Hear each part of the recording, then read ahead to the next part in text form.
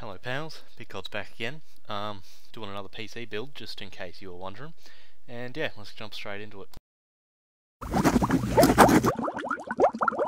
Okay, first up we have the AMD FX 6300 3.5 GHz 6 core processor.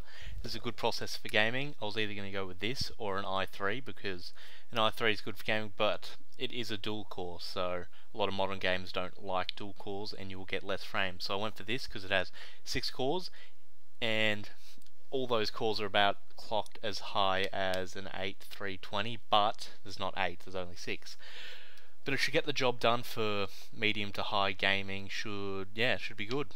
For the motherboard I've gone with the MSI 970A G43 ATX AM3 Plus motherboard. This is a decent motherboard uh, not very expensive and it has everything you will need for a medium to high range uh, low to medium range build. So yeah that's a good motherboard.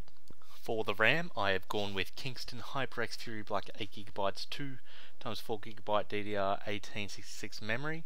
Now you may recognise this from my previous build because, well, 8GB is the norm now, so most people will just get 8GB. Um, yeah, most games recommend it now, so yeah, it's perfect what you'll need. Okay. For the hard drive, I've gone for the Western Digital Caviar Blue 1TB 3.5 inch 7200 RPM internal hard drive. Um, I haven't called an SSD in this build just because you know an SSD is a bit expensive for the amount of storage you get and this is a low to mid to high range. I mean that could mean anything but yeah it's it's pretty pretty cheap.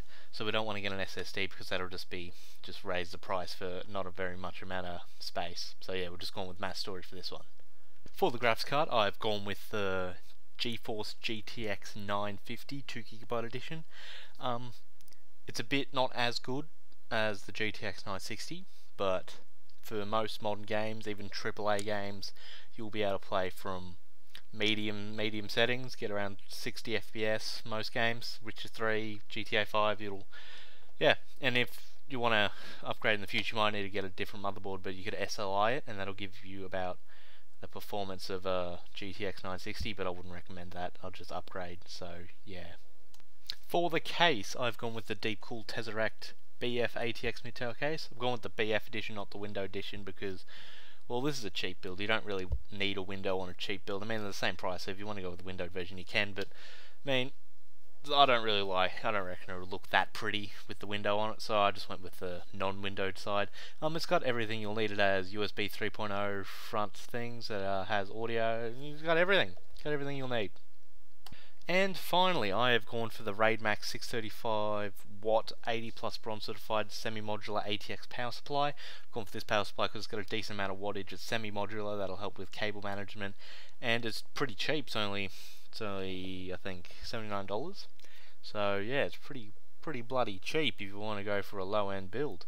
And yeah, of course there'll be no OS in this build because yeah, that's your choice. If you want to get Linux or a Mac, you want to make it a Hackintosh, you know, it's all up to you. So yeah. Okay, thanks for watching guys. This has been a PC build quickie. I made this as an $800 build, so if you're willing to spend a little bit, this is what you'll get. Okay, thanks for watching, bye.